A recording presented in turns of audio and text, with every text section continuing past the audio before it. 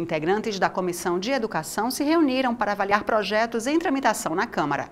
Entre os assuntos discutidos pela comissão está a criação e a delimitação do Alto de Santa Isabel como bairro do Recife. O projeto recebeu parecer favorável, assim como a matéria que institui o Dezembro Verde, voltado para a defesa dos animais. A presidente Ana Lúcia e a vereadora Aimee Carvalho deram ainda parecer favorável ao projeto de decreto legislativo que entrega o título de cidadão do Recife ao jornalista Ciro Bezerra. No encontro, também foi destacada a importância da Frente Parlamentar em defesa da educação pública municipal de qualidade, uma iniciativa da vereadora Ana Lúcia.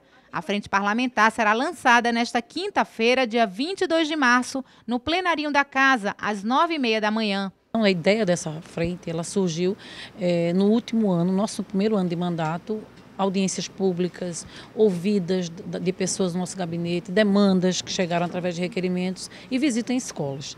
Com essas visitas, a gente sentiu a necessidade mesmo, entendeu? De estabelecer é, um trabalho mais, é, como é que a gente pode dizer, mais focado, né? trazendo outras representações. Então, quinta-feira, agora às 9h30, no plenário da casa, a gente vai fazer o lançamento da frente é, dessa frente para que outras pessoas, outros órgãos se juntem a nós. Nós convidamos os sindicatos, as associações, o Ministério Público, a Secretaria de Educação, todos os profissionais envolvidos com a educação, toda a comunidade escolar, os estudantes, para que a gente possa fazer um debate e começar a traçar ações, ações imediatas para que a gente possa vencer todos esses desafios no qual se encontra hoje a rede municipal de ensino da cidade do Recife.